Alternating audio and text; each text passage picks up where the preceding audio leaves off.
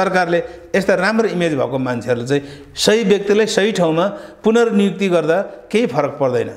अब मानिलिउँ अब राजनीतिमा भने सत्तरी अस्सी वर्ष पुगिसक्यो। जहिलेमा अध्यक्ष चाहिन्छ जहिलेमा प्रधानमन्त्री चाहिन्छ जहिलेमा मन्त्रीमै चाहिरहन्छ। अनि एउटा कुलमान घिसिङ राम्रो काम गरेर एउटा संस्थाको कार्यकारी अधिकारी के हो? त्यो विशेष श्रेणीको पद होइन। त्यो त मन्त्री त होइन त। त्यो पार्टी अध्यक्ष त होइन त। तर कुलमान कसैको काका मान्दा होइन। होइन। कुलमान त्यो त्यत्रो उफ्रिने मान्छेहरूको चाहिँ त्यत्रो उहाँप्रति चाहिँ सदासहायता देखाउने होइन? उहाँलाई हुनुपर्छ भनेर भन्नेहरूको कुनै साइनो सम्बन्ध भएको मान्छे त होइन। होइन उसको कामसँग उनीहरू चाहिँ प्रभावित भएर यस्तो मान्छे त्यहाँ रहनुपर्छ भन्ने एउटा चिन्ता राख्नु चासो राख्नु सरकार राख्नु। अन्त सम्बन्धित ठाउँसम्म हाम्रो आवाज पुगोस् र ती मान्छे फेरि बस्नु र अझ त्यो संस्थाले चाहिँ छलाङमा काम गर्न सकोस्। लक्ष्य हासिल गर्न विद्युत उत्पादनको क्षेत्रमा। होइन? वितरणको क्षेत्रमा राम्रो काम गर्न सकोस् भन्ने चाहना त हो जनताको। त्योभन्दा पत्र के छ? हाम्रै पार्टीको सरकारले ल्याएको त हो कुलमान घिसिङ पनि। होइन? अब सही मान्छेले सही समयमै ल्याएको रहेछ। त्यसको नतिजा राम्रो आयो। अनि उसलाई पुनः नियुक्ति गर्दा के फरक पर्छ? त्यसो हुँदाखेरि यस्तो राम्रो मान्छे चाहिँ हामीले चाहिन्छ है फेरि हामी अठार घन्टा लोड सेडिङ खप्न सक्दैनौँ भनेर जनताले आवाज उठाउनु। त्यो आफैमा अनौठो मान्दिनँ म चाहिँ। र अहिलेसम्म अठार अठार घन्टासम्म चाहिँ लोड सेडिङमा बस्नु परेको अवस्थाबाट कुलमान घिसिङजी चाहिँ त्यो ठाउँमा आइसकेपछि त्यो स्थितिबाट मुक्त भएको हुनाले वाह हो। कुलमान भएकै हो। होइन? अब केही काम पनि गरेकै छ अलिकति अग्रगतिमा लिएकै छ संस्थागत चाहिँ तपाईँको चाहिँ उचाइ हाइट प्रतिष्ठा बढेकै बढाएकै छ। यस्तो मान्छेहरू अब निरन्तर रहनुपर्छ भनेर जनताको माग हुनु त्यसलाई चाहिँ म अनौठो मान्दिनँ। जनताले सही समयमा सही ढङ्गको कुराहरू उठाएको छ भन्ने मलाई लाग्छ। वृद्ध ज्येष्ठ नागरिक भत्ता चाहिँ नि पाँच हजार पुऱ्याउने भनेको थियो। बल्ल तिन हजार पुऱ्याएर छ दुई हजार त पहिल्यै दिइरहेको थियौँ नि। एक हजार नि थप्यो। पाँच हजार पुऱ्याउँदा के बिग्रिन्छ? पहिला किन बोल्ने? बोलिसकेपछि त पुऱ्याउनु पऱ्यो नि पाँच हजार। अनि पर्खेर किस्ता किस्ता गऱ्यो भने सुरुमै पाँच हजार पुऱ्याउनु पर्यो ए कम्युनिस्ट पार्टीको नेताले बोलेपछि पुऱ्याउँछ। भन्ने त दिनु परेन? कृपासु शे शेर्पाजी सुन नेपालमा हार्दिक स्वागत छ। धन्यवाद। तपाईँ एउटा नेपाल कम्युनिस्ट पार्टीको जिम्मेवार नेता पूर्व मन्त्री पनि भइसक्नुभयो। नेपाल कम्युनिस्ट पार्टीको सरकार बनेको झन्डै झन्डै यति बेला तिन वर्ष अवधि पुगिसक्यो। तिन वर्षको अवधिमा सरकारले जुन किसिमको डेलिभरी जनताले चाहिरहेका थिए त्यो दिन सकिरहेको छैन भनेर आम जनताको जनगुनासोहरू आइरहेको पनि तपाईँले पनि सुनिरहनु भएको होला। र अझ विशेष गरी यो कोरोना महामारीको कहर नेपालमा यति बेला चलिरहेछ। कोरोना कहरको बिचमा चाहिँ सरकारले जति डेलिभरी दिनु पर्थ्यो हो कोरोना नियन्त्रणको लागि त्यति चाहिँ अलिकति संवेदनशीलहीनता देखियो कि नेपाल कम्युनिस्ट पार्टी नेतृत्वको सरकार भनेर पनि टिका टिप्पणी भइरहेछन्। त्यो बेलामा तपाईँहरूको नेपाल कम्युनिस्ट पार्टीभित्रको एउटा विवादले सरकार पनि ढुलमुल ढुलमुल देखिरहेको थियो। अहिले त लगभग त्यो सत्रपन्ने प्रतिवेदन पछि चाहिँ तपाईँहरूको नेपाल कम्युनिस्ट पार्टी र सरकारले पुनर्जीवन चाहिँ पाएको हो भनेर भन्न सकिन्छ? धन्यवाद। वास्तवमा एउटा जीवन्त पार्टीमा लामो सङ्घर्ष साथ इतिहास आएको पार्टीमा बेला बेलामा वैचारिक रूपमा फरक मतहरू आउनु त्यो आफैमा अनौठो कुरो होइन। तर एउटा जीवन्त पार्टीको एउटा जिम्मेवार नेतृत्वले त्यसलाई सही समयमै ढिलो चाँडो जे भए पनि सही समयमै त्यसको व्यवस्थापन गर्ने पाटोमा केही शुभ सङ्केतहरू देखा परेको छ त्यो हाम्रो लागि खुसीको कुरा हो। र आउँदो दिनहरूमा पनि इतिहास भएको नेतृत्व पङ्क्तिबाट यो खालको तल आम कार्यकर्ताको मन कुणिने मन चुडिने आम समर्थक शुभेच्छुक जनताको चाहिँ के भन्छ मनमस् मस्तिष्कमा चाहिँ आघात पुग्ने खालको यो प्रचारबाजीहरू नभइदिएदेखि राम्रो आखिर मिल्नै रहेछ। र यत्रो दिनसम्मको लफाबाजी किन? त सुरुमै जे समस्या देख्नु भएको थियो सबैले समयमै नेतृत्व पङ्क्ति बसेर यसको व्यवस्थापन गरेको भए त आहा कम्युनिस्ट पार्टीको दुई तिहाईको सरकार कति राम्रो। अब नेतृत्व पङ्क्तिमा एउटा चाहिँ के भन्छ को सही निर्णयले हाम्रो सुनौलो भविष्य चाहिँ अब सुनिश्चित भयो। त्यसो हुँदाखेरि अहिले हामीले आत्तिने बेला छैन। सरकारलाई साथ सहयोग गर्नुपर्छ र सरकारले पनि वास्तवमा निर्वाचनताका आफूले प्रतिबद्धता जनाएको विषयवस्तुमाथि केन्द्रित रहेर वास्तवमा बजेट ल्याउने दिशामा लाग्नु पर्थ्यो। त्यो चाहिँ अलिक भने जस्तो नभएको हो अब अब म चाहिँ तपाईँलाई मुख्य विषयवस्तु जान्छु अघि मैले सुरुवात भने। तिन वर्षको अवस्थामा जनताले जति चाहेका थिए तपाईँहरू जति दिन्छौँ भनेर जुन किसिमको प्रतिबद्धता गर्नुभएको थियो तपाईँ एउटा नेपाल कम्युनिस्ट पार्टीको नेता मात्रै हुनुहुन्छ अहिले सरकारमा र जिम्मेवार पदमा हुन्न विगतमा हुनुहुन्थ्यो। आज तपाईँ नेपाल कम्युनिस्ट पार्टीभित्रकै नेता भएर हेर्दाखेरि विगत तिन वर्षमा सरकारले गरेको कामकाजलाई चाहिँ तपाईँले कसरी लिनुभयो? अझ विशेष गरेर कोरोना महामारीमा जन। सरकारले कति काम गरिरहेको छ? कति गर्न सकिन्थ्यो तपाईँसँग एउटा अनुभव यस्तो छ। मन्त्री भएको नाताले? कति गर्न सबभन्दा- सकिन्थ्यो? कति गर्यो? कति कसरी सबभन्दा पहिलो कुरो त कोरोना महामारीको कुरा। नेपालले कहिले यस्तो अनुभव नगरेको विषयवस्तु महामारीको रूपमा आएको। हाम्रो प्रशासनिक आर्थिक क्षमताहरू त्यस दिशातर्फ चाहिँ नि सङ्केत भइ नरहेको होइन? त्यो दिशातर्फ यस्तो किसिमको स्थितिमा आउँछ। त्यो बेलालाई हामीले चाहिँ हाम्रो चाहिँ स्टक चाहिँ यसरी राख्नुपर्छ भन्ने खालको ख्याल नभएको अवस्थामा अचानक आइरहँदाखेरि हामीले चाहे जस्तो हामीले सोचे जस्तो हामीले भने जस्तो हामीले भनेकै समयमा हामीले भनेकै जसो गरी केही कुराहरू गर्न पुर्याउन भ्याएन होला। तर सरकार जिम्मेवार ढङ्गले लागेको मेरो आफ्नो अनुभूति। किन अनुभूति भनेदेखि उहाँहरूले कम्तीमा पनि केही नभएको अवस्थामा अहिलेसम्म त्यत्रो ठुलो अब नेपाललाई खतरा छ भनेर डब्लुएचओको मतलब चाहिँ युएनको समेत चाहिँ नै सतर्कता गराइरहेको अवस्थामा त्यो हदसम्मको स्थिति सिर्जना नहुनुमा सरकारले अप्नाएको सतर्कता नीति समयमै सुदूरपूर्ण ढङ्गले गरेको काम कारवाहीको कारणले चाहिँ अहिले त्यो स्थिति नआएको मलाई लाग्छ। तपाईँले यो कोरोनाको कहर चाहिँ हाम्रो हातभन्दा बाहिर थियो। हामीले नसोचेको आएको हो। हामीले। सरकारले राम्रै गरिरहेछ भन्दै गर्दाखेरि ठिक छ तपाईँलाई एउटा सुविधा शङ्काको सुविधा मिल्यो कि कोरोना कहर सरकारको नियन्त्रणभन्दा? थिएन। थिएन। तर कोरोनाको कहरमा जुन किसिमको राजनीति र टिकदमबाजी नेपाल सरकारले गर्न थाल्यो नि कोरोनाको कात्रोमा पनि तपाईँहरू भ्रष्टाचार गर्नु उद्धत देखियो सरकारहरू मिडियामा आएको समाचारहरू देख्नु। त्यो त तपाईँको नगर्न पनि सकिन्थ्यो नि यो बेला। यस्तो छ। अब यो अनुसन्धान गर्ने अधिकार प्राप्त निकायले प्रमाणित नभएको कुरोलाई हामीले भ्रष्टाचार भयो भनेर भन्न मिल्दैन। अनुसन्धान गर्ने अधिक अधिकार प्राप्त निकायको काम कारवाहीप्रतिको विधान त कानुन त हामीले हस्तक्षेप गरेको ठहर छ। त्यसो नगरी हामीले त्यसबारेमा बोल्यौँ किनभने त्यो छुट्टै निकायले छुट्टै किसिमले कार्य गर्ने विषय हो। जहाँसम्म मिडियामा आएको चाहिँ समाचारहरू छ त्यो समाचार पेसागत मर्यादा राखेर आएको छ कि छैन? त्यहाँभित्र वास्तवमा सही सत्य कुरा त्यसले उजागर गरेको छ कि छैन भन्ने पाटोबाट पनि तपाईँहरू जस्ता एउटा मिडियामा लागेको मिडियाकर्मी साथीहरूले सही ढङ्गको सूचना आम जनतामा सम्प्रेषण गर्नु तपाईँहरूको धर्म हो। त्यसो हुँदाखेरि त्यस्तो कुराहरू आउनुपर्छ। गलत कामहरूको सही सूचना आउनुपर्छ। तर के छ भने त्यो मिडियामा आएकै भरमा सबै काम चाहिँ सिद्धाएछ सरकारले गरेछ भ्रष्टाचार गरेछ खानासम्म खाएछ भन्ने ढङ्गको अब फेरि यस्तो अवसर आउँछ कि आउँदैन यही बेला लुटेछ। भन्ने खालको चाहिँ सङ्केत गर्ने जस्ता कुराहरू चाहिँ हामी मिडियामा लाग्ने साथीहरूको पनि मानसिकतामा चाहिँ अलिकति गरिबीपन के? गरिबीपन देख्छु म। तर त्यो छानबिन छानबिनलाई त अगाडि सरकारले बढाउनु पर्ला नि। सरकारले बढाउन? सरकारले त संविधान ल्यायो संविधान ल्याएर संविधान अनुसार बनेको निकायले त्यो के हो त? मिडियामा यत्रो आइरहेको छ के हो? होइन? बेनामे उजुरीको आधारमा त कारवाही गर्नुपर्छ।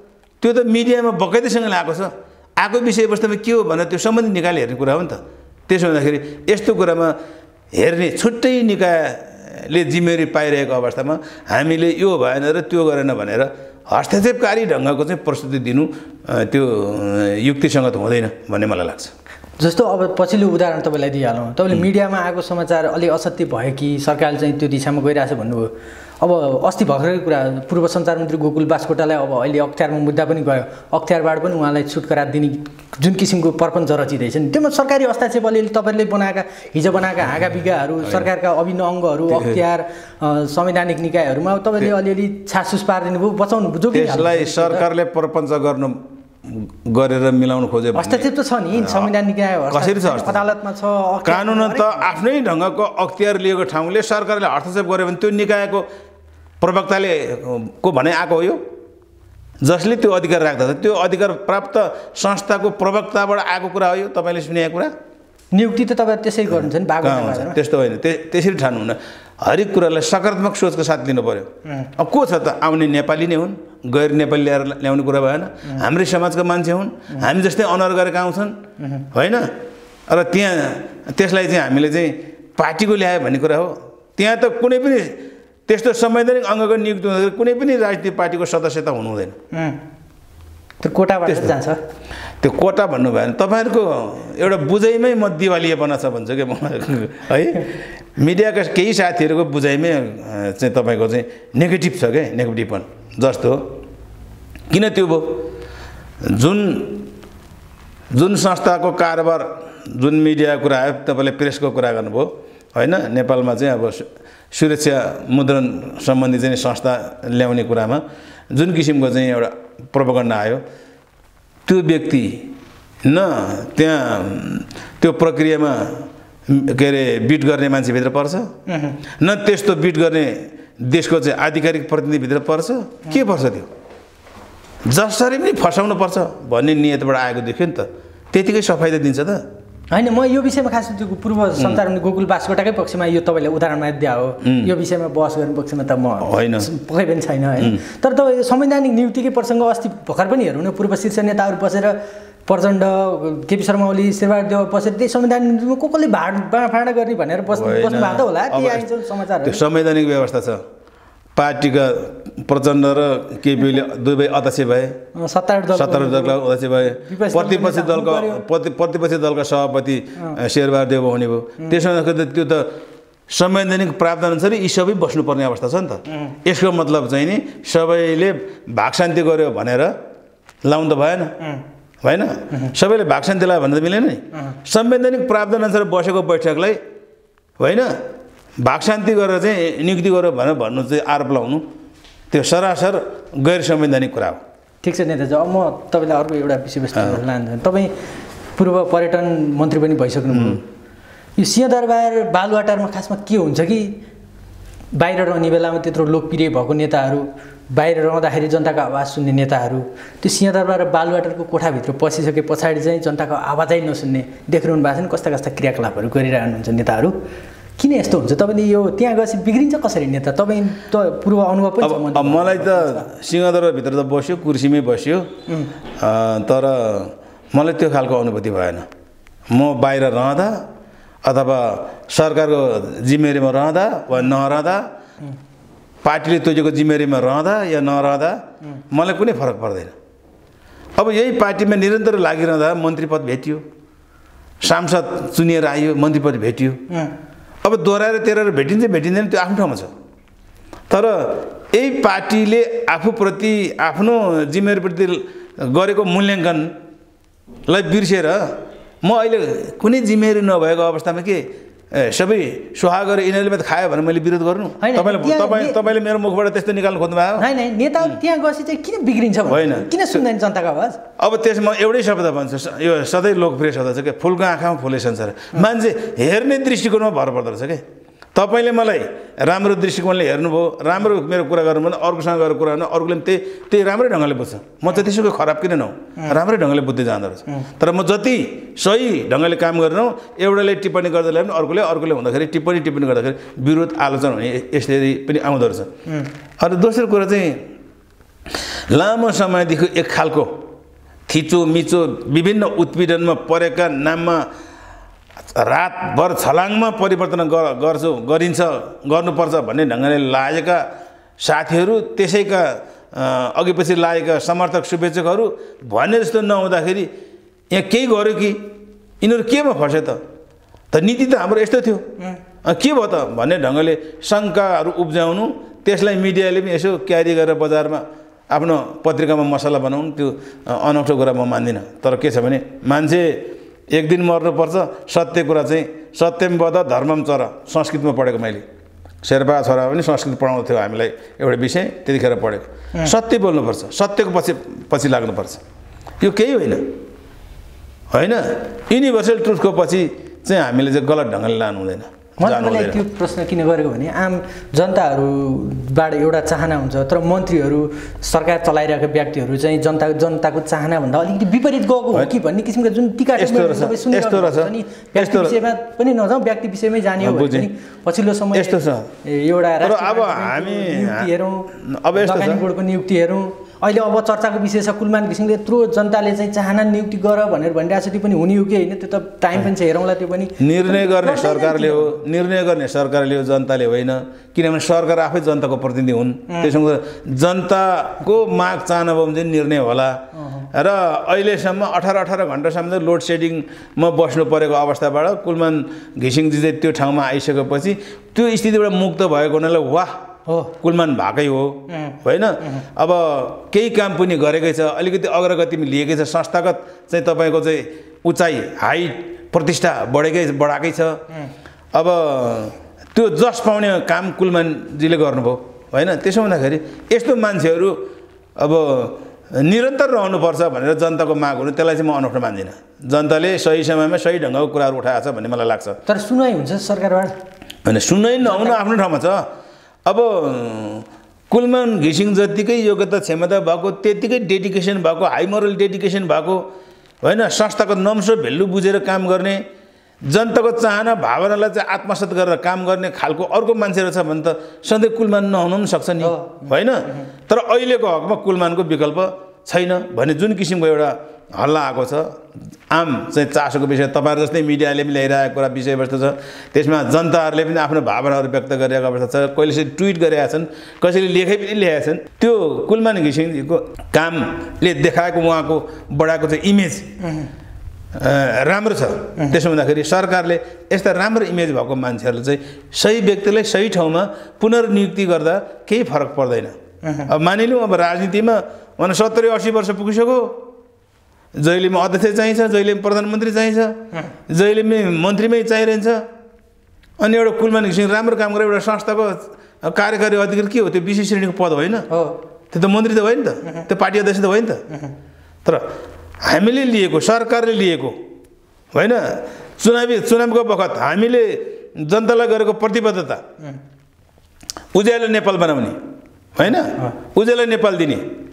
जनतालाई सरकारले मुफ्तमा बाँड्नेहरू त्यो उज्यालो। त्यो प्रयोग गरेर त जनताबाट त पैसा लिन्छ। सरकारले त व्यापार गरिरहेको छ जनतासँग। त्यस्तो कामलाई व्यवस्थापन गर्ने एउटा जनशक्ति कुलमान घिसिङमा देखियो एउटा आत्मबल उहाँसँग देखियो। त्यसो हुँदाखेरि कुलमान घिसिङलाई दोहोऱ्याउँदाखेरि सरकारको राज्यको केही हानि नोक्सानी छैन भन्ने मलाई लाग्छ। जनताको चिन्ता पनि त्यही हो कि हो। नेताज्यू? त्यही भएर त मैले भने जनताले यस्तो कुराहरूमा के कुलमान घिसिङ डोर टु डोर गरेर राजनीतिक सङ्गठन गरेर हिँडेको मान्छे हो र? हो होइन। होइन? उसको पछि यत्रो जनता किन लाग्यो? काम काम देखेर लागेको हो नि त। त्यसो हुँदाखेरि सबैभन्दा ठुलो चाहिँ हामीले जिम्मेवारी बोध गर्ने। कुनै पनि सङ्घ संस्थामा काम गरेर चाहे त्यो पार्टीमै चाहे मान्छेमा तिनवटा दारी हुनुपर्छ बुझ्नु भएन एउटा सङ्गठनमा बसेको एउटा समझदारी हुनु पऱ्यो अनि त्यो संस्थामा बसेको जिम्मेदारी बोध हुनु पऱ्यो त्यो जिम्मेदारी वहन गरिरहँदाखेरि चाहिँ इमान्दारी पनि हुनु पर्दैन इमान्दारी हुनु पऱ्यो यो तिनवटा चिज भएपछि जनताले नस्वीकार्ने कुरै हुँदैन। यो तिनवटा चिज सहित अगाडि बढेको देखियो। त्यसबाटको प्रतिफल हामी सबैले पायौँ भने जनताले त त्यसको त जयगान गर्छ नि होइन? अनि यसमा कुनै अनौठो कुरा होइन। जनताको चिन्ता चाहिँ ठ्याक्कै के भने सरकारको विगतका नियुक्तिहरू हेर्दा अलिकति जनताको आशा अपेक्षा बमोजिम त्योभन्दा अलिक भिन्न किसिमका नियुक्ति आइरहेको थिए यो किसिममा पनि आम जनताले यो कुरा त उठायौँ। तर सरकारले यसलाई पनि व्यवस्था गर्ने हो कि भन्ने जुन किसिमको संशय छ नि तपाईँ एउटा नेपाल कम्युनिस्ट पार्टीको जिम्मेवार नेता सरकारमा पनि तपाईँको मन्त्री नै नभए पनि तपाईँ एउटा राम्रो खालको पहुँच पनि राख्नुहुन्छ प्रभावशाली नेता पनि हो। त्यो जनतामा देखिएको संशय छ नि त्यसलाई कसरी चिर्ने त्यसो भए के आश्वासन दिन चाहन्छ? अब म पार्टीको नेताभित्र पर्दिनँ। नेता हो तपाईँ? म एउटा कार्यकर्ता कसैले मान्नु आफ्नो ठाउँमा छ तपाईँले मान्नु आफ्नो ठाउँमा छ म एउटा इमान्दार कार्यकर्ताभित्र पर्छु। म जिम्मेवारी पाउँदा या नपाउँदा मलाई कुनै नैराश्य पनि छैन पाउँदा कुनै हर्ष उल्लास पनि छैन। तर किनभने त्यो के को बमोजिम आफूले प्राप्त जिम्मेवारीलाई सही समयमा सही ढङ्गले होइन पार्टीले लिएको नीति योजना र कार्यक्रम अनुसार सम्पन्न गर्ने गराउने दिशामा इमान्दारपूर्वक लाग्ने हो। यसरी लागिरहँदाखेरि हाम्रै पार्टीको सरकारले ल्याएको त हो कुलमान घिसिङ पनि। होइन? अब सही मान्छेले सही समयमा ल्याएको रहेछ। त्यसको नतिजा राम्रो आयो। अनि उसलाई अ, पुनः नियुक्ति गर्दा के फरक पर्छ? त्यसो हुँदाखेरि यस्तो राम्रो मान्छे चाहिँ हामीले चाहिन्छ फेरि हामी अठार घन्टा लोड सेडिङ खप्न सक्दैनौँ भनेर जनताले आवाज उठाउनु त्यो आफैमा अनौठो मान्दिनँ म चाहिँ। होइन त्यो जनताको चिन्तालाई चाहिँ तपाईँले कसरी सम्बोधन गर्नुहुन्छ? सरकारले गर्छ है त्यही त भने जुन यस्तो छ। नि। सरकार सरकारले गर्छ। सरकारले गर्छ। गर्नु पनि पर्छ। त्यसो हुँदाखेरि यत्रो जनता किन लाग्यो त आक्रोश पनि छ होइन? कुलमान कसैको काका मान त। होइन। होइन। कुलमान त्यो त्यत्रो उफ्रिने मान्छेहरूको चाहिँ त्यत्रो उहाँप्रति चाहिँ सदा सहायता देखाउने होइन उहाँलाई हुनुपर्छ भनेर भन्नेहरूको कुनै साइनो सम्बन्ध भएको मान्छे त होइन। होइन उसको कामसँग उनीहरू चाहिँ प्रभावित भएर यस्तो मान्छे त्यहाँ रहनुपर्छ भन्ने एउटा चिन्ता राख्नु चासो राख्नु सरकार राख्नु। अन्त सम्बन्धित ठाउँसम्म हाम्रो आवाज पुगोस् र ती मान्छे फेरि बस्नु र अझ त्यो संस्थाले चाहिँ छलाङमा काम गर्न सकोस्। लक्ष्य हासिल गर्न विद्युत उत्पादनको क्षेत्रमा होइन वितरणको क्षेत्रमा राम्रो काम गर्न सकोस् भन्ने चाहना त हो जनताको। त्योभन्दा पत्र के छ? जनता आखिर नियुक्ति भयो भने त सुविधा त कुलमानले पाउने हो। जनता ढुक्क राज्यले दिएको राज्यले दिएको सुविधा त कुलमानले पाउने। हो जनता ढुक्क भएर बस्यो हुन्छ अनि अनि त्यो त्यो चाहिँ नि कुलमानजीले चाहिँ जुन दिएको चाहिँ सेवा प्रवाह हो नि त्यसबाट जनता सन्तुष्टि हुने हो। होइन? जनताले त उल्टो तिरेर उज्यालो लिने हो। होइन? त्यस्तोमा पनि ती आए कति गए र पनि उहाँ एउटा ठिक समयमा ठिक मान्छे आइपुगेछन् र कम्तीमा अठार घन्टा लोड सेडिङबाट मुक्त भयो भन्ने हुँदाखेरि मान्छेकोमा परीक्षा छ बच्चा बच्चीको परीक्षा छ मान्छे कसैको कल कारखाना छ हँ? अनि मान्छे रोजगार दिएर राखेको छ। अनि विद्युत शक्ति भएन भने के हुन्छ। गाह्रो थियो। त्यसो हुनाले त्यसको सही व्यवस्थापन गरेको हुनाले उहाँप्रति जनताको शुभेच्छा रहनु स्वाभाविक हो र सरकारले यसलाई इमान्दारीपूर्वक लिनुपर्छ भन्ने मलाई लाग्छ। जनता पनि ढुक्क भयो हुन्छ सरकारले। होइन। एउटा जनताको सरकार भएको हुनाले जनताको आवाजलाई चाहिँ मुखरित गर्नुपर्छ। पर्छ। बस अब तपाईँको पार्टीतिर त्यो सत्र बुधे प्रतिवेदनले तपाईँको अहिले तत्काल देखेको विवाद सामसुम भयो त दुईवटा अध्यक्षले भन्नुभयो केही टिका टिप्पणीहरू पनि भइरहेको छन् तर नेपाल कम्युनिस्ट पार्टीभित्र तिनवटा शक्ति छ तपाईँले मान्नुहुन्छ होइन? नेपाल कम्युनिस्ट पार्टीबाट एउटै शक्ति हो। एउटै शक्ति भए पनि ठुलो शक्ति भएको हुनाले कहिलेकाहीँ कुनै पनि विषय वस्तु केन्द्रित भएर छलफल गर्दाखेरि आफ्नो आफ्नो धारणाहरू आउँछ। त्यसलाई चाहिँ तल तपाईँहरू जस्तो मिडियाले चाहिँ झगडा गरेको बाजेको जुझेको र तपाईँहरूको मिडियाले मसला भएको खुसियाली व्यक्त गर्नुहुन्छ है क्या हो? मलाई त्यस्तो त्यस्तो फिल भइरहेछ। तर यो अहिलेको प्रतिवेदनमा चाहिँ पूर्व प्रधानमन्त्री पनि भइसक्नु भएको व्यक्ति उहाँ एउटा शक्ति हो। तपाईँले नस्वीकारे पनि। स्वीकार्नुहुन्छ सायद। तर त्यो शक्ति अलिकति यो सत्र बुधे प्रतिवेदनमा अलि त्यति सन्तुष्ट देखिएन। त्यो जुन जुन किसिमको प्रतिवेदन आयो। यस्तो छ। के हो उहाँको कुरा खासमा? यस्तो छ। हाम्रो चाहिँ कस्तो हुन्छ भने पार्टीमा जीवन्त बहस हुन्छ। राय प्रतिक्रिया जनाउने काम जीवन्त रूपमा हुन्छ। जब बैठकले निर्णय गरिसक्यो नि त्यसलाई एक्सेप्ट गरिसक्यो नि गरिसकेपछि त्यो स्वीकार्नुपर्छ आफ्नो चाहना अल्पमतमा पऱ्यो भने पनि त्यसको मूल्याङ्कन हुन्छ तर स्वीकारेर जानुपर्छ। पार्टीको नीति त त्यस्तो हो नि त। त्यसो भन्दाखेरि यही स्कुलिङ हामीलाई गराएको यी नेताहरूले। उहाँहरूले हामीले त्यही स्कुलिङ गराएर त्यसरी हिँड्नुपर्छ भनेर लागेको। आफूलाई केन्द्र भागमा राखेर सोध्नुहुन्न आत्मकेन्द्रित कुराहरू गर्नुहुन्न। हामी सबै माथि चाहिँ केन्द्र माता त हुन्छ। हरेक कमिटीहरू केन्द्रीय कमिटी माता त हुन्छन् केन्द्रीय कमिटी चाहिँ तपाईँको चाहिँ महाधिवेशन माता त हुन्छ होइन? यस्तो कुराहरू त उहाँहरूले सिकाएको हो नि त। त्यसो हुँदाखेरि पार्टी केन्द्रले गरेको निर्णयहरू आफै बसेर छलफल गरेर गरेको निर्णय छलफलमा फरक मत दर्ज हुनसक्छ। तर निर्णयको पालना त हामीले भन्नु नपरोस् उहाँहरू आफै गर्नुहुन्छ। जस्तो त्यो त्यही प्रतिवेदनमा अब सरकारलाई एउटा शीर्ष नेतृत्वहरूलाई सुझाव स्वरूप मन्त्री परिषद फेरबदल र यो मुख्यमन्त्रीहरूको पनि फेरबदलको प्रसङ्गहरू आइरहेछन् टिका टिप्पणीहरू आइरहेछन् तपाईँले पनि सुन्नुभएकै होला। कसरी हुन्छ त्यो चाहिँ? अब यस्तो छ संविधानले के भन्छ? सरकार सञ्चालनमा फेरबदलमा त संविधानले के भन्छ? संविधानको प्रावधानमा टेक्नु पर्यो। र अहिलेको जुन तपाईँले भने जस्तो उठेको समस्यालाई समाधान गर्ने पाटोमा भएको सहमतिलाई कार्यान्वयन गर्ने दिशामा वृहत समझदारीको साथ गयो भने त्यो राम्रो हुन्छ भन्ने लाग्छ। र यत्रो लफाबाजी गर्नु यत्रो चार चार पाँच पाँच महिनाको लफाबाजी गर्नु भनेको चाहिँ आखिर दुई चारवटा मन्त्री फेर्नेमै मात्रै हो त। त्यो त गरिरहनु भयो नि तपाईँहरूको पार्टीले गरे नि। कोरोनाको कहरमा जनता रोइरहेछन्। तपाईँहरू को अध्यक्ष बन्ने कसलाई कति अधिकार चाहिने को मन्त्री बन्ने लडाइँमा तपाईँहरू सैद्धान्तिक जस्तो लडाइँ पनि नभएकोलाई अब मलाई अब अलिक मलाई बोल्नु दिनुहोस् है। के भने अघि सुरुमै भने त तपाईँले त्यति बेला त पुग्नुपर्ने। एउटा वृहत जीवन्त पार्टी इतिहास भएको पार्टीमा ठुलो बहस छलफल हुन्छ। त्यो होइन। बहस छलफल हुनु? होइन ब- बहस छलफल हुनु कुनै अप्ठ्यारो हुन्छ। त्यो त जुन बेला आउँछ त्यही बेला बहस हुन्छ जुन बेला समस्या देखिन्छ त्यही बेला बहस आउँछ। तर त्यसको व्यवस्थापन कसरी गर्ने भन्ने कुरामा चाहिँ हामीलाई उहाँहरूले स्कुलिङ गरेको। सङ्गठनमा उठेका समस्याहरूको व्यवस्थापन कसरी गर्ने? होइन? भन्नेबाट उठेको बहुमतीय प्रणालीबाट गर्ने। भएन भने माथिल्लो निकायको निर्देशनअनुसार गर्ने। होइन केन्द्रीयता अन्तर्गत गर्ने। यी सबै कुरो छ नि त। अब उहाँहरू आफै केन्द्रीयताको माथिल्लो निकायमा हुनु छ होइन?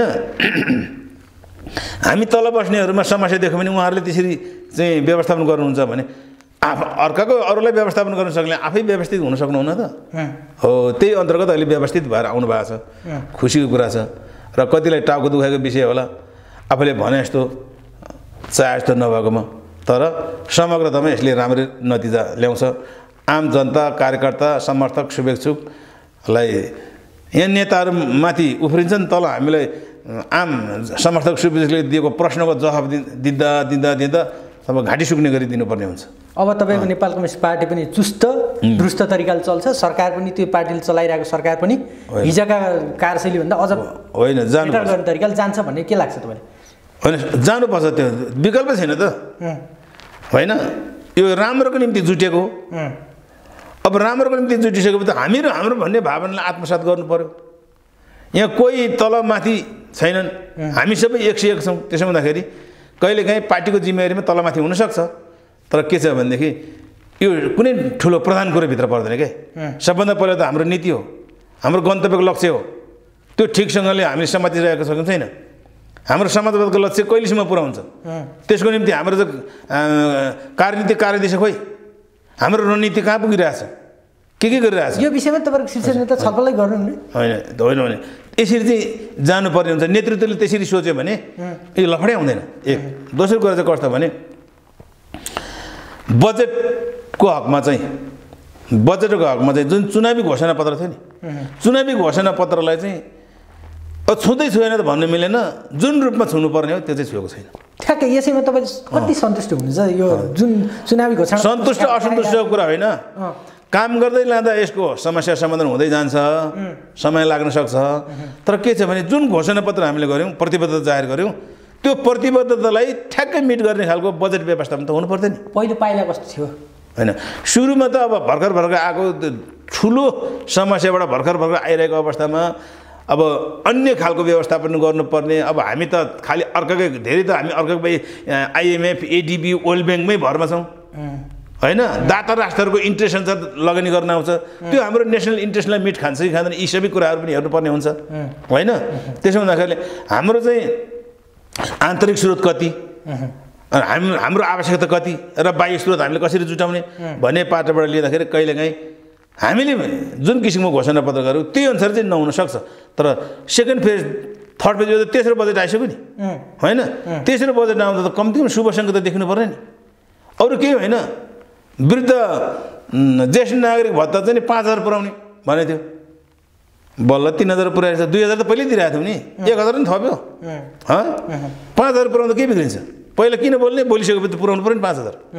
अनि पर्खेर किस्ता किस्ता गऱ्यो भने सुरुमै पाँच हजार पुऱ्याउनु पर्थ्यो ए कम्युनिस्ट पार्टीको नेताले बोलेपछि पुऱ्याउँछ भन्ने त दिनु परेन। अनि बिस्तारै बिस्तारै त खिद्री खिद्री गर्नु पऱ्यो। हुन त हाम्रो स्रोत साधनको अवस्था के छ त्यो बुझाउनु सक्नु पऱ्यो त ल हामी यो यो कारणले अहिले भनेकै समयमा भने जसै गरी दिने चाहना हुँदा हुँदा पनि यति कारणले दिन सकिएन भन्ने कुरो त कारण खोलेर त बुझाउनु सक्नु पऱ्यो नि। अझ एकल महिला भत्ता हटाएर अपाङ्ग भत्ताहरू हटाएर भनेको सुन्छु म। होइन? त्यो के हो त्यो? दिइरहेको चिज पनि हटाउने कटौती गर्ने हो। यसले यो खालको बजेटले चाहिँ हाम्रो पार्टीले घोषणा गरेको जुन घोषणापत्र राजनीतिक घोषणापत्र हो चुनावको बेलामा यसले हामीलाई अर्को पटक यही ढङ्गको हैसियत दिलाउँछ भन्ने कुनै ग्यारेन्टी छैन। यसको असर पर्छ तल। अँ यस यसको असर तल धेरै पर्छ। बोल्ने नि त गर्ने भयो कम्युनिस्टहरूले भनेर त गैर कम्युनिस्टहरूले पनि भोट हालेका छन्। हाम्रो कार्यक्रम देखेर। हो। यस्तो पो कार्यक्रम भनेर देखेर हालेको छ नि। ती आउँछन् त। ऊ त्यसै हाम्रो थिएन। हाम्रो कार्यक्रम देखेर भोट हालेको थिए। ती मान्छे त्यसै आउँछन् त। हामीले जतिसुकै दम्ब गरे पनि जतिसुकै दम्ब गरे पनि अब तिन करोड जनसङ्ख्यामा चौतिस लाख त रहेछ हाम्रो। ल। हाम्रो सही भोट दिने मान्छे त चौतिस लाख त हो। समानुपातिक भोट चाहिँ हामीले गर्नु पऱ्यो नि। चौतिस लाख समानुपातिक भोट हाम्रो। त्यति नै रहेछ तिन करोड जनसङ्ख्यामा। अनि अरू त्योभन्दा बढी प्राप्त गरेको प्रत्यक्षमा प्राप्त गरेको हाम्रो मत त सबै यस्तै खालको हाम्रो नीति योजना कार्यक्रमहरू देखेर मन पराएर हाल्नेहरूले हालेको हो नि त होइन? त्यसो भएको हुनाले हामी जे हाम्रो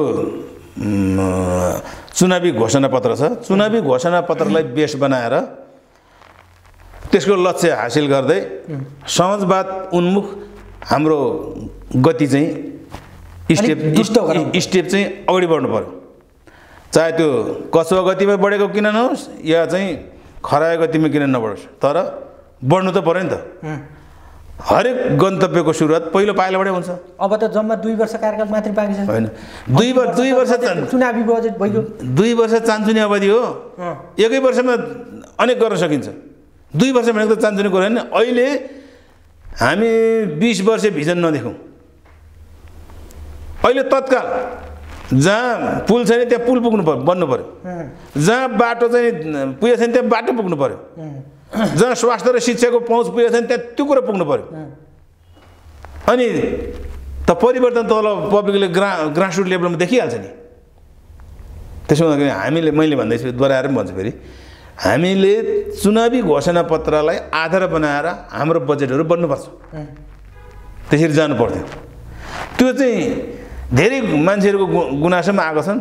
त्यो चाहिँ अलिकति रेसियो कम भएको कि? भन्ने फिलिङ आफूलाई पनि भएको। रेसियो कम भएको। रेसियो कम भने सुरुवात भयो। भनेर पहिलो वर्ष त ल ठिक छ रेसियो कम छ तर पनि सुरुवात चाहिँ भयो। दोस्रो वर्ष त्योभन्दा अलिक बढ्नु पऱ्यो तेस्रो वर्ष अलिक बढ्नु पऱ्यो नि। तर जनताले त्यो खालको बढेको अनुभूति गरेको छैन। त्यसो हुनाले यस्तै पाराको बजेट सम्बन्धले जस्तो अहिलेसम्म कम्युनिस्ट पार्टीले ए एमाले हुँदा नौ सौको कार्यक्रमले आफ्नो गाउँ आफै बनाउनले खाएको हो नि त। त्यही नौ महिने कार्यकाल त हो त्यही त हो। अनि भन्ने गर्छन् विरोधीहरू कम्युनिस्ट पार्टीहरू केही पाउँदैन त्यो नौ सौ र नौ महिने कार्यकालको कुरा गर्छ भन्छ। सत्य चाहिँ म कुन जुगमा चाहिँ रामले चाहिँ अब किन गुणगान नगाउनु। होइन? एउटा प्रतिफल प्रतिफल हो नि। तर यो त पाँच वर्ष कार्यकाल पनि त्यति औचित्यपूर्ण होला जस्तो होइन। अब यस- त्यसरी त भन्नु हुँदैन बिस्तारै। त्यसरी भन्नु हुँदैन तर के छ भने जिम्मेवार नेताहरू हुनुहुन्छ। अब पार्टीको चाहिँ कार्यनीतिक कार्यदिशा जनताको हित र पक्षमा मुलुकको हित र पक्षमै छ। त त्यसलाई व्यवस्थापन गर्ने पाटोमा यो लामो सङ्घर्षपछि आइरहेको र अलग धारका दुईवटा ठुलो शक्ति मिलेर आइरहेको अवस्थामा त्यसलाई व्यवस्थापन गरेर पनि अलिकति केही समस्याहरू देखिएको थियो। र त्यो अहिले सुदृढ रूपमा अगाडि बढिरहेको हुँदाखेरि यसलाई हामीले खुसीकै रूपमा लिनुपर्छ। र आम समर्थक शुभेच्छुकले पनि अहिले आत्तिहाल्नु हुँदैन। आत्तिहाल्नु हुँदैन। जब एकताको पहिलो महाधिवेशन हुन्छ त्यस पछाडि यी सबै लफडाहरू पनि व्यवस्थापन भएर जान्छन्। र हामीले चाहेको सोचेको जुन परिवर्तनको हाम्रो जुन मूल सपना हो त्यो पुरा गर्ने दिशामा पनि जिम्मेवारी ढङ्गले नेतृत्व पनि लाग्नुहुन्छ। र आवश्यक परे हामी जस्तो मान्छे पनि आफ्नो तहबाट हामी लाग्छौँ। आवश्यक पऱ्यो होइन एउटा जिम्मेवारी साथ हामी पनि आफ्नो तहबाट लाग्छौँ। लागि पनि रहेछौँ। लागि पनि रहेछौँ र लाग्छौँ पनि भन्ने मलाई लाग्छ अन्त्यमा अब यति बेला देशभर एउटा लकडाउनको स्थिति छ जनताहरू धेरै जनताहरू अलिकति बिचलीमा परेको पनि छ सरकारले पनि चाहँदैन त्यति यो ठुलो महामारी अघि नै भइसक्यो। सके जति गर्न सकिँदैन त्यो पनि स्वाभाविक हो। अब तपाईँ एउटा जिम्मेवार नेता नेपाल कम्युनिस्ट पार्टीको नेता पनि भएको नाताले आम जनताहरूलाई यो कोभिड अनि त्यसपछि सँगसँगै यो बर्खाको समयमा चाहिँ बाढी पहिरोको समस्या पनि उत्तिकै छ गाउँघरमा। बाढी पहिरो खोला नालाको समस्या पनि उत्तिकै आइरहेछ। आम जनताहरूलाई चाहिँ के सन्देश दिन चाहनुहुन्छ तपाईँले? अब यस्तो छ। अब यो बेला भनेको हामी आत्तिने बेला आक्रोश कुण्ठा व्यक्त गर्ने बेला होइन। हामी समयमित मर्यादित अनुशासित भएर एउटा दीर्घ जीवनको लागि होइन आफू सुरक्षित रहेर यो विभिन्न स्वास्थ्य मन्त्रालय मार्फत डब्लुएचओले चाहिँ दिएको बेला बेला दिएको जुन सूचनाहरू छ सूचनाहरूको राम्रो अध्ययन गरेर आफूलाई सुरक्षित राख्ने आफू पनि बाँच्ने अरूलाई पनि बाँच्ने मौका दिने। त्यो दिशामा लाग्ने हो र त्यस्ता परेको मान्छेहरूलाई सही समय सही ठाउँमा सूचना गरेर उहाँहरूको चाहिँ उपचार गर्ने गराउने दिशामा लाग्नु पऱ्यो र जहाँसम्म लाग्छ अलिकति यो पूर्वाधार विकासको योजनाहरू चाहिँ तपाईँको चाहिँ अब निर्माण रोकिएको छैन। असार मसान्तसम्मै सक्नुपर्ने कामहरू यो कोभिड नाइन्टिनको कारणले गर्दा अलिकति थप- केही म्याद थपिएको केही म्याद थपिएको छ। त्यो थपिएको म्यादभित्र सम्पन्न गर्नुपर्ने हुन्छ। यस्तो माल सामानहरू ढुवानी गर्ने बेलामा ठाउँ ठाउँमा जिल्ला प्रवेश निषेधदेखि लिएर विभिन्न वाहनामा चाहिँ रोकिएको। निर् निर्माण सामग्रीहरू लान ओसार पसार गर्न चाहिँ बाधा अवरोध भइरहेको प्रशासनिक तहबाटै भइरहेको होइन? पुलिस प्रशासनकै तहबाट भएको धेरै गुनासोहरू आएको छन्। यस्तो तर्फ चाहिँ सरकारले सम्बन्धित निकायहरूमा तत त्यस्तो कुराहरूमा अहिले निर्माण सामग्रीहरू ओसार पसार गर्ने यातायातका साधनहरूलाई चाहिँ बाधा अवरोध गर्ने होइन। जहाँ मान्छे कोचा कोच हालेर ओसार पसार गरिरहेको छ त्यहाँ मात्रै रोक्ने हो। मान्छे कोचा कोचा हालेर रातारात बोक्छ नि त। एम्बुलेन्समा चाहिँ दसौँजना मान्छे हालेर बोक्छ। एम्बुलेन्समा दसजना मान्छे बोक्नु मिल्छ? एम्बुलेन्सको दुरुपयोग भएन? लाइन लाँदैछ यात्रु एम्बुलेन्स परिचालन गरिरहेको छ यस्तो कुराहरू रोक्नु पऱ्यो र अरू इमर्जेन्सी परेको पास लिएर गएकाहरू भ्याली बाहिर जानेहरूलाई कम्तीमा एउटा गाडीमा तिनजना चारजना त बस्नु मिल्छ नि। त्यसो पनि छोड्नु पऱ्यो जान दिनु पऱ्यो र यसले के गर्छ भने मान्छेलाई मरौ पर परेको हुन्छ के हुन्छ? अनि भन्दामा कति नराम्रो। क्रिया पुत्री बस्ने अवस्थाको मान्छे भने जान पर्ने नभए अरू जान नपर्ने कति नराम्रो। आफ्नो मान्छे बिरे भन्दा पनि जानु पऱ्यो नि आफ्नो घरको मान्छे। होइन? अब तर फेरि हाम्रो नेपालीहरूको पनि एउटा खराब बानी छ। बिरेमा हुनुहुन्छ हेर्न भेट्न जाने हेर्न जाने अन्तिम घडीमा हुनुहुन्छ भेट्न जाने। छैन उहाँ मजाले खाएर खेलेर बसिरहनु भएको छ। त्यस्तो बाहना पारेर जाने हाम्रो प्रवृत्ति पनि मा पनि हामीले पनि सुधार गर्नुपर्छ। वास्तविक मर्का परेको मान्छेहरू जाँदाखेरि चाहिँ यस्ता बनावटी कुरा गरेर जानेहरूको कारणले गर्दाखेरि वास्तवमै जानुपर्ने मान्छेहरू चाहिँ रोकिएको अवस्था पनि आएको छ। त्यसो हुँदाखेरि सम्बन्धित निकायले सम्बन्धित जिम्मेवारी पाएको साथीहरूले पनि त्यसलाई चाहिँ अलिकति राम्रोसँग बुझेर आफैलाई त्यस्तो घटना पऱ्यो भने चाहिँ यस्तो ठाउँबाट चाहिँ कस्तो चाहिँ सेवा दिए हुन्थ्यो भन्ने लाग्छ। त्यतिसम्मको चाहिँ दिनुपर्छ त्यहाँभन्दा बढ्ताको दिनुपर्छ त्यतिसम्मको चाहिँ दिँदाखेरि चाहिँ राम्रो हुन्छ होला। र जनताले पनि धैर्य धारण गर्नु पऱ्यो खालि पुलिस प्रशासन कर्मचारी राजनीतिज्ञलाई गाली गरेर समाधान समाधान हुँदैन। त्यसलाई व्यवस्थापन कसरी गर्नुपर्छ भन्ने पाटोबाट राम्रो सुझबुझको साथ अगाडि बढ्यो भने सहयोग नगर्ने मान्छे छैन नि। हस् धन्यवाद यो अमूल्य समय हामीलाई दिनुभयो। अँ। तपाईँलाई यो कोरोनाको उसमा चाहिँ तपाईँ स्टेज सेफ सुरक्षित रहनु होला तपाईँलाई चाहिँ। हाम्रो ठिक छ। म अलरेडी टेस्टेड धन्यवाद।